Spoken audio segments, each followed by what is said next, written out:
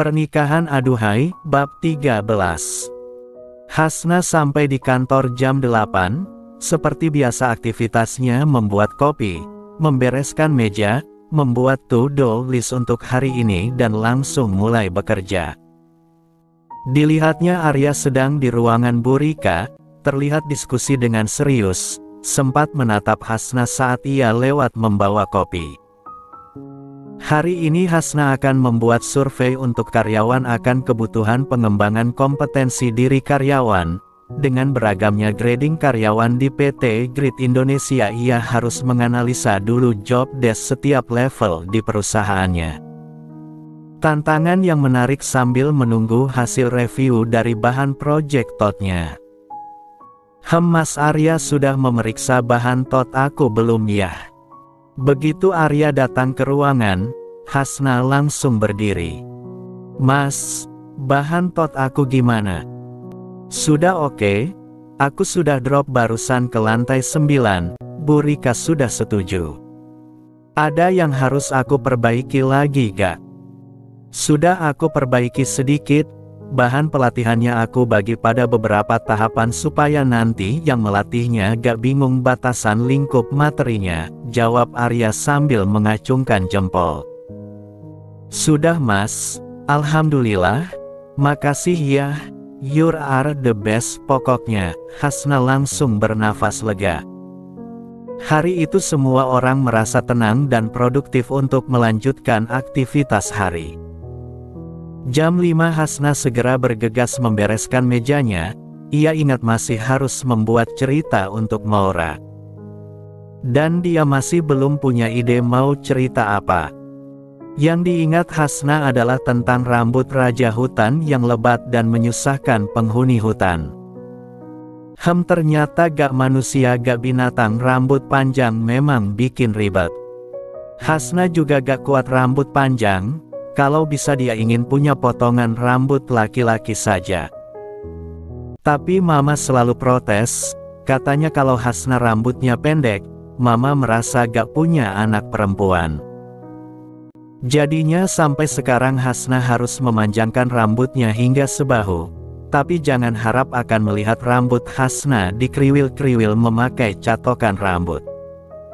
Dikeringkan pakai hair dryer saja sudah maksimal untuk Hasna Plus, jangan lupa vitamin rambut. Di depan pintu lift antrian pegawai yang pulang sudah mengular, aktivitasnya ada yang menunggu sambil main HP atau mengobrol. Walaupun hari ini tidak terlalu banyak kegiatan tapi Hasna merasa lelah dan mengantuk, mungkin karena kemarin dia kurang tidur. Ia memutuskan untuk memesan ojek online, dan eh tumben langsung dapat padahal jam pulang kantor. Dan ternyata ojek online-nya adalah motor balap dengan posisi duduk yang tinggi di belakang. Haduh mas mbok ya kalau kerja online ganti motor yang gak susah, daan wawung, suara motor ojeknya meraung keras, pulang cepat bersama ojek Valentino Rossi. Sesampainya di kosan Hasna langsung mandi dan bersiap untuk sholat maghrib, ia mencoret-coret di kertas dan langsung bersiap untuk merekam. Tes, tes, ehem, ehem, Hasna melakukan uji coba suaranya, dia tersenyum kalau dibikin serius dia jadi grogi begini. Harus semangat dan bisa membuat cerita lucu kalau tidak dia kena penalti tambahan cerita dua voice note. Hala ini mah beres kerja di kantor bis nyambi jadi pendongeng handal. Halo Maura, apa kabar? Ini Kak Hasna. Sudah lama Kak Hasna gak ketemu sama Maura. Semoga Maura sehat ya, karena lama gak ketemu sama Maura Kak Hasna punya cerita nih. Dengerin ya. Eh, tapi janji loh nanti sesudah denger cerita Kak Hasna, Maura sikat gigi terus bobo ya. Oke, ini nih ceritanya. Oscar si Raja Racing. Dahulu suatu hutan tinggallah keluarga singa, mereka adalah Raskal Raja Singa, Auma Ibu Singa, Mola kakak singa yang cantik, Oscar adik singa yang tidak pernah mau diam. Raskal adalah raja singa yang sangat ditakuti oleh seluruh penghuni hutan. Ia memiliki badan yang besar dan rambut surai sangat lebat, auman Raskal bisa terdengar sampai ke seluruh hutan. Oscar adalah anak singa yang nanti akan menjadi penerus menjadi raja di hutan. Oscar selalu belajar untuk jadi raja yang baik nantinya. Pertama-tama dia harus bisa bersuara yang keras. Dia harus bisa mengaum, Oscar kemudian berlatih mengaum. Aum. Uhuk-uhuk, suara Hasna yang dikecil-kecilkan dan terbatuk-batuk ternyata susah mengaum itu. Aum. Uhuk. Aum uhuk, Hasna masih terbatuk, suaranya menjadi keselak. Aku harus banyak minum supaya suaraku bagus, kata Oscar diambilnya air minum. Gluk, Gluk, ah segar, ehem ehiem, Hasna jadi ikutan minum, lumayan sambil menyelam minum air. Auwem, auwem, auwem.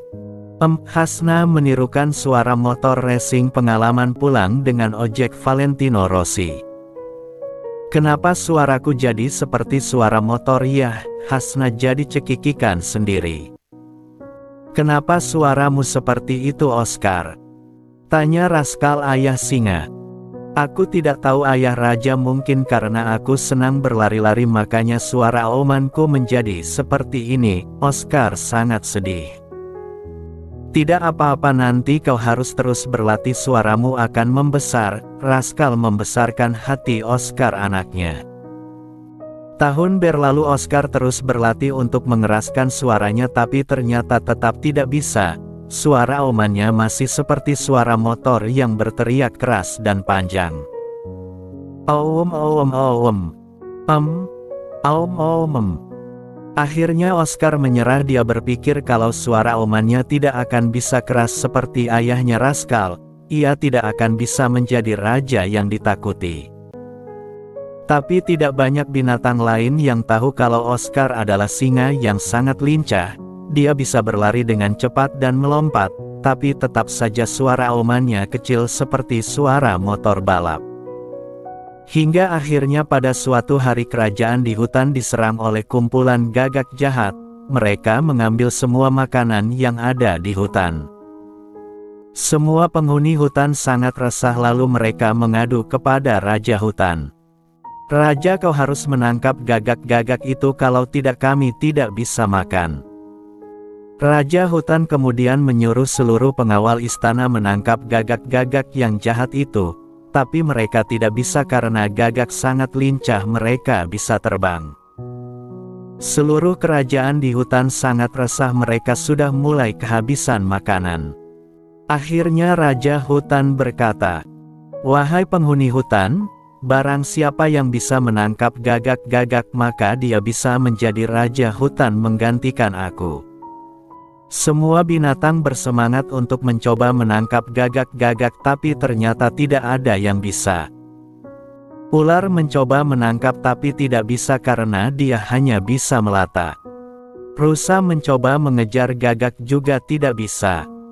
Gajah mencoba menangkap dengan belalainya juga tidak bisa. Tidak ada satupun binatang yang bisa menangkap gagak yang sangat banyak. Tiba-tiba terdengar suara pengawal istana. Tuan Raja, Tuan Raja lihat di sana. Semua penghuni hutan melihat di lapangan Oscar sedang mengejar gagak-gagak jahat. Dengan kecepatan larinya dia bisa menangkap gagak. Aum, aum, Oscar dengan cepat berlari dan melompat menangkap gagak itu satu persatu. Gagak-gagak itu semuanya kaget mereka tidak tahu ada singa yang bisa berlari begitu cepat dan meloncat, setiap mengawam kecepatannya bertambah. Aum, aum sampai akhirnya hampir semua gagak mati. Dan akhirnya sisa gagak yang lain kabur melarikan diri ketakutan. Hore, hore, hidup Raja Oscar. Raja kami yang sangat cepat. Raskal sangat senang anaknya Oscar bisa membuktikan bahwa dia bisa menjadi raja untuk penghuni hutan, Sejak saat itu Oscar dinobatkan menjadi raja baru dengan sebutan Oscar si Raja Racing. Nah itu Maura cerita Kak Hasna.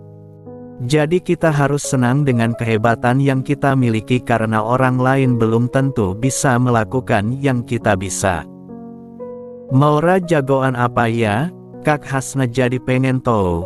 Nanti kalau ketemu Maura cerita ya. Sekarang Maura siap-siap bobo, jangan lupa berdoa. Dadah Mola, Saranjo. Muah-muah. Ah selesai juga ucap Hasna, Didengarkannya lagi rekaman suara yang dibuatnya. Ada suara Hasna terbatuk dan keselak, termasuk tertawa ah biarkan saja pikirnya, capek lagi harus merekam. Dikirimkannya rekaman voice note itu. Terserah Pak Reza mesti berpikir untuk menjelaskan apa itu motor racing hahaha. Terima kasih Mamam Gojek atas inspirasi motor racingnya. Hahaha. Reza Pov. Jam sudah menunjukkan jam 7 malam saat keluar dari kantor, pertemuan dengan beberapa orang direksi mengakibatkan aku baru bisa pulang. Tampaknya lalu lintas lancar jadi bisa sampai ke rumah jam 8 dan bisa makan malam dengan anak-anak. Di tengah perjalanan hujan telepon menanyakan sudah sampai mana karena dia sudah lapar ingin segera makan, Akhirnya kusuruh ia dan Maura untuk makan duluan, nanti bisa sampai di rumah tinggal ngobrol tentang aktivitas mereka hari ini. Sesampainya di rumah jam sudah menunjukkan jam 8 lebih, langsung makan supaya bisa segera mandi dan menemani anak-anak, dan betul saja Maura sudah menunggu di sofa sambil menonton TV bersama hujan. Hem tumben akur pikirku, Oh ternyata nonton boyband Korea, ah apa itu mukanya hampir sama semua. Maura sedang nonton apa dengan kakak, tanyaku. Ini papi kesukaan kakak, ABC, jawab Maura. Bukan ABC Mola A, BTS, tungkas hujan.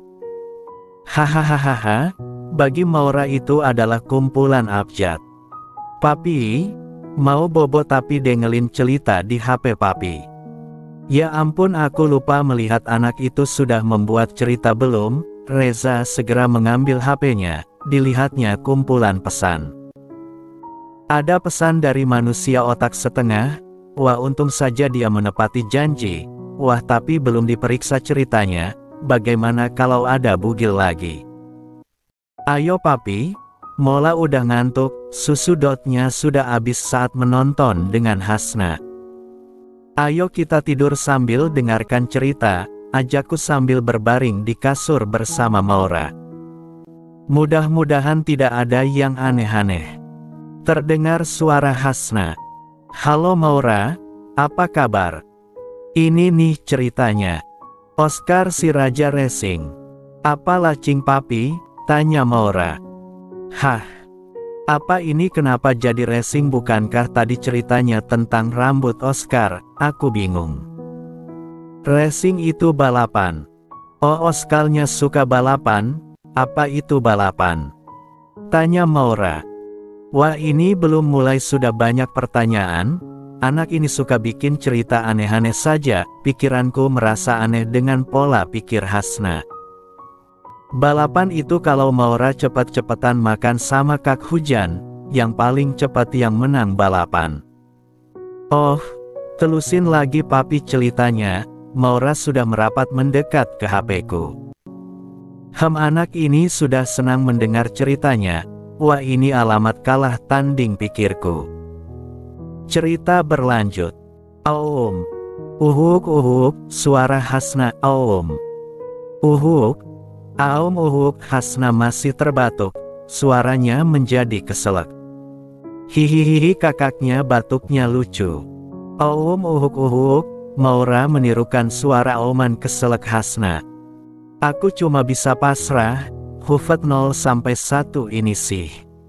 Sepanjang cerita Maura tertawa-tawa setiap mendengar suara Oman motor jelek itu dia selalu tertawa.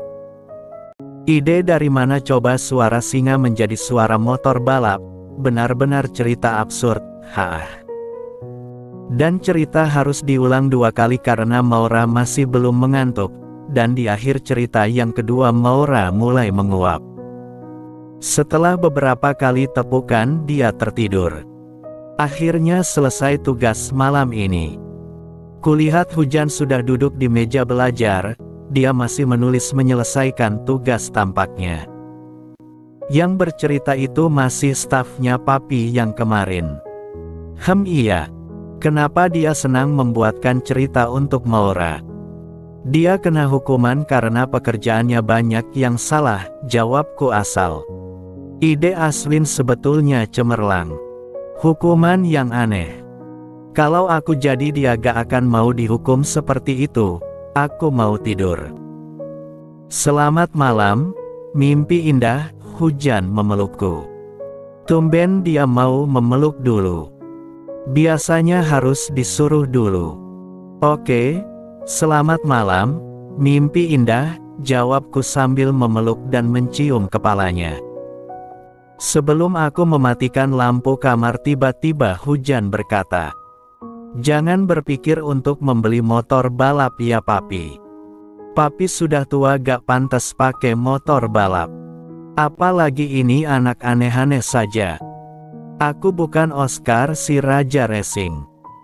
Pagi itu divisi pelatihan dan pengembangan memulai kerja dengan meeting untuk program Employee Gathering sebagai program yang harus dilaksanakan dalam bulan ini. Persiapan telah dirancang oleh Maita sebagai bagian dari Employee Development Program. Hasna mendapatkan tugas untuk membuat notulensi dan menyiapkan bahan untuk rapat hari ini. Sesaat sebelum rapat mulai tiba-tiba ada OB yang datang membawa barang-barang dalam tas dan kotak kue. Maaf mau ketemu Mbak Hasna. Ucap OB sambil celingukan ke ruangan. Ya saya sendiri, ada apa bang? Ucap Hasna sambil berdiri menghampiri ke pintu. Ini Pak Aswin meminta saya menyampaikan ini kepada Mbak Hasna, OB menyerahkan sejumlah kantung kertas kepada Hasna. Oh iya terima kasih, nanti saya temui Pak Aswin, ucap Hasna.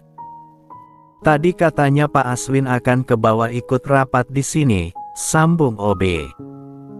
Hasna langsung membawa barang yang diberikan dan disimpan di meja rapat. Apa itu nah? Tanya Maita. Gak tahu mbak, ini katanya buat kita dari Pak Aswin. Wah apa nih? Ada cupi cake juga buat kita. Tanya Maita. Gak tahu, takut salah ah aku, Hasna bingung. Selamat pagi. Wah sudah dibawa sama OB ke sini, tiba-tiba Aswin muncul di pintu. Eh, selamat pagi pak, Iya saya bingung ini takut salah pak, jawab Hasna. Iya tadi pagi Pak Reza minta saya mengirimkan paket souvenir dan cupi cake. Katanya kalah set ceritanya dari Mbak Hasna, selamat menikmati, ucap Aswin. Wah hahaha, asik, aku menang. Aku menang, Hasna langsung tertawa. Ini souvenirnya bisa dibagikan untuk setiap orang dong pak. Hasna langsung membuka tas besar yang berisi tas kecil dan agenda eksklusif dari perusahaan. Wah bagus begini, biasanya ini souvenir untuk tamu perusahaan. Silahkan, mohon maaf jangan sampai divisi yang lain tahu, karena kebetulan instruksi dari Pak Reza hanya untuk divisi ini saja, Aswin mewanti-anti jangan sampai ada kecemburuan dari karyawan di divisi yang lain. Dan ini cupi cake-nya banyak juga ada red velvet kesukaan Mas Arya, ucap Hasna sambil melihat ke dalam box kue. Arya hanya tersenyum kecut, ia tahu kue yang dikirimkan pasti terkait hukuman Hasna yang harus membuat cerita. Aswin hanya tersenyum samar, ia sudah memilih cupi cake terenak sebagai pilihan untuk Hasna tapi ternyata malah akan dipilihkan untuk temannya. Terima kasih pak, hadiahnya bisa dinikmati oleh semuanya. Saya buatkan kopi ya sebagai teman cupi cake-nya, ucap Hasna. Bisa kita mulai rapatnya sekarang pak, tanya Rika. Oke. Rapat employee gathering lumayan alot dan lama terutama oleh kecermatan Aswin dan memilih tempat dan acara yang dirancang oleh Maita. Acara ini akan diikuti oleh seluruh karyawan dan manajer di perusahaan pusat dan perwakilan dari pabrik anak perusahaan di daerah Botabek. Akhirnya disepakati kalau tempat akan dilaksanakan di daerah Cikole Lembang, selain fasilitas yang dinilai lengkap, area wisata tersebut telah menyiapkan paket gathering yang dianggap sesuai dan penginapan yang nyaman untuk perusahaan. Karyawan akan berangkat hari Jumat sore dari Jakarta dan langsung beristirahat di malam pertama. Pagi harinya acara gathering dimulai dari jam 9 hingga jam 3 sore. Dilanjut mandi air panas di Ciater dan malam harinya malam keakraban. Setiap divisi harus menampilkan satu performance dan nanti tampilan yang terbaik akan mendapatkan hadiah door prize. Mereka akan pulang bersama-sama kembali ke Jakarta di minggu pagi. Divisi pelatihan dan pengembangan akan berangkat lebih dulu H1 ke Bandung, ini berarti Jumat pagi mereka sudah langsung berangkat ke Bandung untuk menyiapkan acara. Hasna langsung memesan tiket kereta api untuk berempat berangkat ke Bandung. Tepat di hari Jumat pagi semuanya berkumpul di stasiun Gambir. Rika duduk dengan Maita sedangkan Arya dengan Hasna. Seperti biasa yang sibuk membawa banyak perintilan adalah Maita, entah apa saja yang dibawanya sampai membawa satu koper. Hasna hanya membawa tas jinjing saja, rencananya setelah acara selesai dia akan langsung pulang ke rumah tidak akan ikut dengan rombongan pulang ke Jakarta. Selama di perjalanan Maita baru menyadari kalau divisi mereka belum menyiapkan pertunjukan untuk ditampilkan nanti di malam keakraban. Bu Rika sudah menolak untuk tampil katanya dia tidak mempunyai bakat apa pun, hanya ingin menonton saja. Maita pun begitu terang-terangan dia bilang kalau nyanyi selalu fals. Langsung dipraktekan di depan Bu Rika dan teman-temannya, semua setuju kalau suara Maita jauh dari indah. Akhirnya disepakati Arya dan Hasna yang harus tampil, Arya bermain gitar sedangkan Hasna yang akan bernyanyi. Sepanjang perjalanan mereka memilih lagu yang cocok untuk dinyanyikan secara akustik. Akhirnya dipilih satu lagu yang sedang hits di radio jadi semua orang akan suka, Incaran mereka tentu saja door prize yang nanti akan diperoleh. Voucher belanja sebesar 2 juta rupiah. Kalau menang dibagi empat tentu saja, walaupun yang nyanyi cuma berdua. Hehehe. Di hari khas semua acara yang dirancang berhasil dilaksanakan dengan baik. 85% karyawan dan manajer datang dan mengikuti kegiatan. Rika mendapat pemberitahuan bahwa kalau tidak ada halangan Pak Reza sebagai GM akan datang bersama keluarganya di acara malam keakraban untuk menyerahkan hadiah kepada karyawan terbaik dan door prize untuk pemenang Performance Award. Ini adalah kali pertama Hasna akan bertemu dengan Reza dan keluarganya, dan pastinya semuanya juga tidak sabar yang menunggu penampilan Hasna dan Arya, Hehehe supaya dapat feelnya gimana kalau sebelum mereka nyanyi kalian hafalkan dulu liriknya ya, biar bisa nyanyi bareng mereka berdua nanti malam. Lagu, I Like So Much, You Know It. Terjemahan. Aku suka matamu, kamu palingkan wajah seolah tak peduli. Aku suka lesung pipi di sudut senyumanmu. Aku sangat menyukaimu, Dunia mungkin tahu tapi jangan takut. Karena perasaanku semakin dalam, sayang bersiaplah. Aku suka bajumu, aku suka jarimu, apa pun tentang dirimu. Aku ingin jadi jaket favoritmu agar bisa terus dekat denganmu. Aku sudah lama mencintaimu, terkadang sulit menahannya. Tapi setelah sekian lama, aku harap kamu menunggu dan melihatku. Chorus 1. Aku mencintaimu setiap menit, setiap detik. Aku mencintaimu di mana pun dan kapan pun. Selalu dan selamanya, aku sadar tak bisa lepas darimu. Karena sayang, kamulah satu-satunya, aku tak tahu kenapa. Aku mencintaimu hingga salju terakhir menghilang. Aku mencintaimu dari hujan hingga reda. Aku belum pernah merasakan cinta seperti ini, kini aku tak bisa lepas. Aku jatuh cinta padamu, dan sekarang kamu menyadarinya. Verse 3 Aku suka kamu berusaha keras saat bermain bola bersama teman-temanmu. Aku suka melihatmu saat memainkan alat musik dan menyanyikan sebuah lagu. Aku suka hal-hal kecil tentangmu yang tak kamu sadari. Aku memergokimu mencuri pandang dan tersenyum dengan sempurna. Bridge, meski kadang hidup membuatku jatuh. Kamulah penyembuh cintaku. Dalam hujan badai yang deras, kamu melenyapkan kekhawatiranku. Uhuk, baper aku tuh, sampai gak kuat buat nulis part nyanyi berduanya. Bakalan ada yang melengos soalnya. Like and comment dong biar Mimin lebih semangat lagi nulisnya. Acara gathering diakhiri dengan mandi air panas di pemandian air panas Ciater, semuanya merasa puas.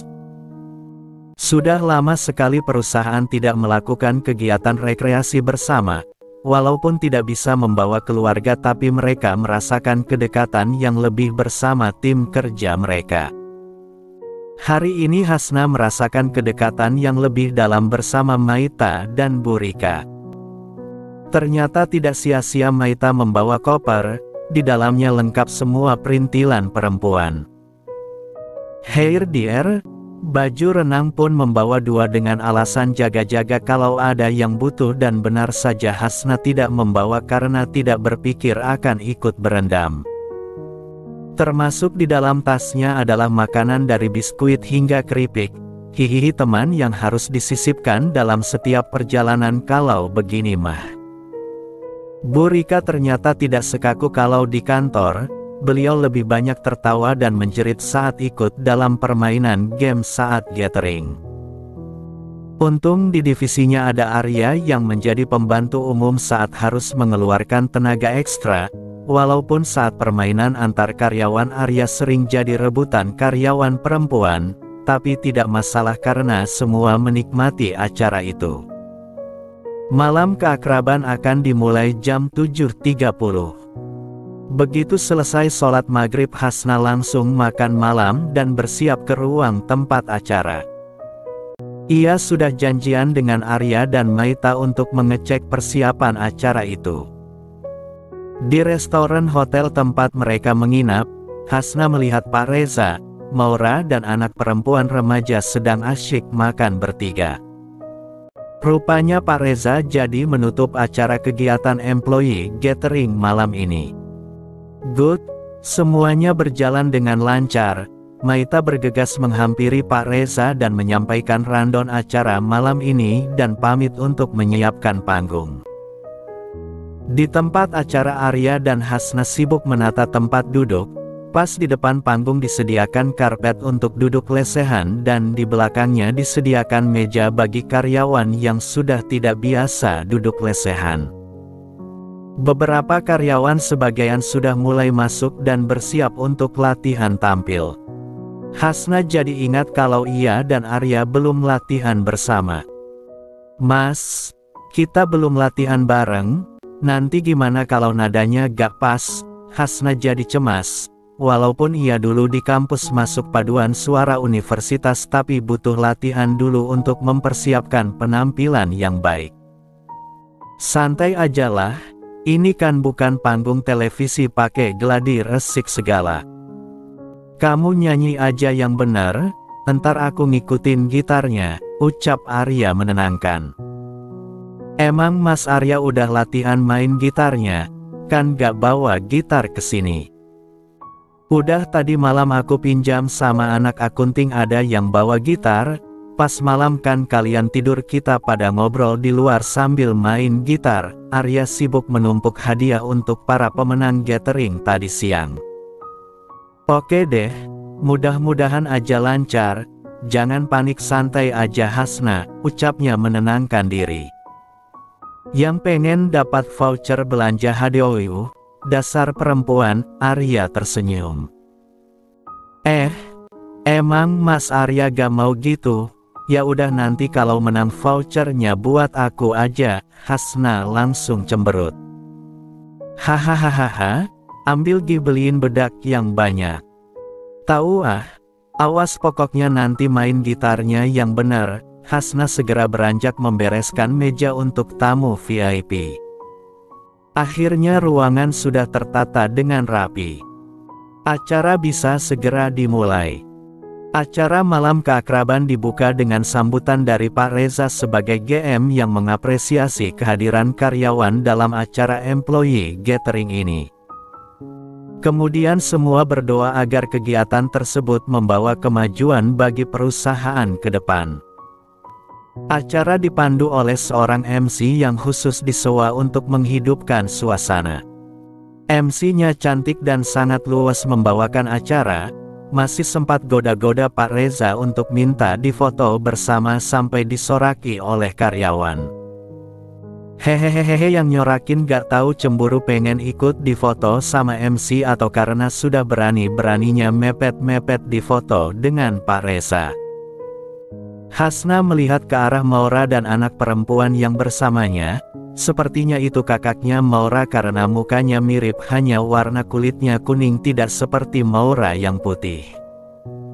Dia terlihat tidak suka dengan sikap MC itu, tatapan matanya seperti kesal. Hahaha Hasna merasa lucu melihatnya sangat kontras dengan muka Maura yang lempeng dengan main di tangannya. Jadi ingat sama nenek lampir di lantai sembilan kayaknya bakalan mentok kalau ketemu elang ini.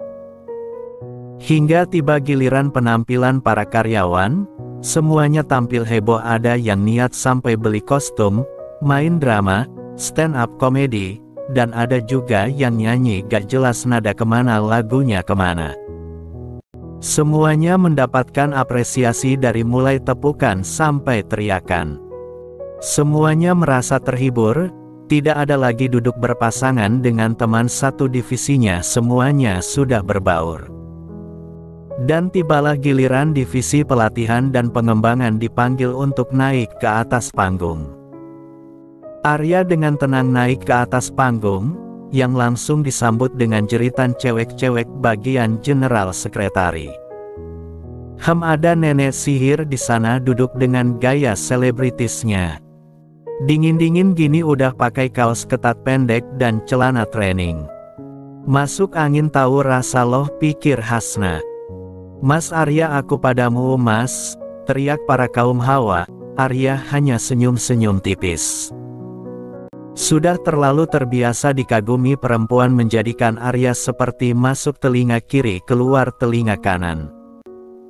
Hasna menarik nafas, Ah tenang perhatiannya terfokuskan pada Mas Arya, tenang tidak akan ada yang memperhatikan aku, ucapnya dalam hati. Tiba-tiba, Kak Hasna, teriak Maura. Alama anak koala ngeliat, Hasna langsung tersenyum dan melambai. Musti segera nyanyi ini mas sebelum riwah sama anak koala. Hasna langsung menoleh ke arah Arya dan mengangguk meminta Arya untuk membuka penampilan mereka. Lagu ini kami persembahkan untuk kalian-kalian semua yang sedang menyukai seseorang dan ingin membuat pengakuan. Buat yang belum menyukai seseorang, kami mengutuk kalian akan memikirkan seseorang yang bikin hidup kalian lebih berarti. Arya memulai intro lagu. Jreng, Hasna mulai bernyanyi. Dari kejauhan Hasna sudah melihat Maura tidak mau diam di pangkuan Pak Reza, dia sudah menunjuk-nunjuk ke arah Hasna. Hasna masih melanjutkan menyanyi hingga selesai chorus sampai akhirnya Pak Reza menyerahkan Maura ke panggung. Arya memperpanjang intro sebelum masuk ke bait lanjutannya karena Hasna harus mengatur posisi Maura. Semua karyawan bertepuk tangan melihat Maura naik ke panggung dan ikut bernyanyi. Hasna bernyanyi sambil memandang Maura seakan-akan lagu itu diperuntukkan untuk Maura, memeluk menunjuk hidungnya dan mencium Maura dengan penuh kasih sayang. Sesekali melihat ke Arya sambil tersenyum. Dari bawah panggung mereka bertiga seperti keluarga kecil yang berbahagia. Di akhir lagu, Arya mendekat ke arah Hasna dan Maura hingga bait terakhir yang dinyanyikan Hasna terdengar. Arya mendekat dan mendekatkan kepalanya ke arah mereka berdua. I'm in love with you and now you know. Arg. Semua perempuan di sana berteriak. Arya. Semua karyawan menjerit, Hasna membisikkan sesuatu ke telinga Maura dan langsung Maura berbicara di mic. Jangan lupa, apa? K, dibisikkan lagi oleh Hasna. Jangan lupa, like, and comment. Buat. Mola, Maura dituntun oleh Hasna untuk mengucapkan di depan mic. Semuanya tertawa dan berteriak. Maura, Maura, Maura. Seluruh ruangan jadi semakin hangat. Hasna dan Maura turun dari panggung dan mendekat ke meja bersama Maita dan Burika. Eh Mas Arya masih di panggung, ternyata banci panggung juga dia. Saat Hasna dan Maura sudah duduk, terdengar Arya berbicara di depan mic. Lagu ini saya persembahkan untuk perempuan yang membuat hari-hari saya berbeda satu bulan ke belakang. Ini buat kamu, bentuk cinta dari Eklat, ucap Arya. Arah. Arya. Kembali jeritan cewek-cewek terdengar di ruangan. Aku tak tahu apa yang lain. Darimu hari ini. Apa itu karena sepatu flatmu atau kukumu yang baru kau warnai? Pernahkah kau bertanya, seperti apa bentuk air tanpa wadah? Pernahkah kau mengira, seperti apa bentuk cinta? Chorus. Rambut warna-warni bagai gulali. Imut lucu walau tak terlalu tinggi. Pipi cubi dan kulit putih. Senyum manis gigi kelinci. Membuatku tersadar. Bentuk cinta itu. Ya kamu. Saat Arya bernyanyi matanya tidak pernah terlepas menatap ke arah Hasna yang sibuk memandu Maura berjoget di atas meja. Maita dan Burika saling bertatapan saling mengerti akan tatapan Arya. Cuma Hasna yang lempeng sibuk mengasuh anak koala yang langsung nempel plek padanya. Saat Arya mengakhiri lagu dengan kata, Membuatku tersadar, bentuk cinta itu, Ya kamu, Arya menunjuk ke arah Hasna dan Maura yang langsung bertepuk tangan akan penampilan Arya. Hasna membisikkan sesuatu ke telinga Maura dan berteriak.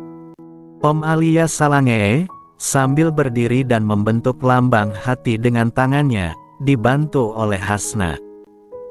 Sarange Maura, jawab Arya. Langsung dijawab dengan sahutan para karyawan. Maura atau Maura. Hahaha. Reza dan Hujan melihat tingkah laku Maura yang lucu dari kejauhan. Muka Reza tampak dingin dan tidak berkomentar melihat penampilan Hasna dan Maura. Saat Arya menyatakan sarange, Reza melengos dan melihat ke arah lain. Hujan langsung berkomentar. Papi udah kalah set, gak bisa nyanyi dan main gitar, hahaha. Tenang Om Reza jangan khawatir biarpun Arya jago nyanyi dan main gitar tapi uangnya masih banyak kan si Om, hahaha, tolong dong kasih like dan komen sama Maura supaya bisa jadi juara and dapat door prize.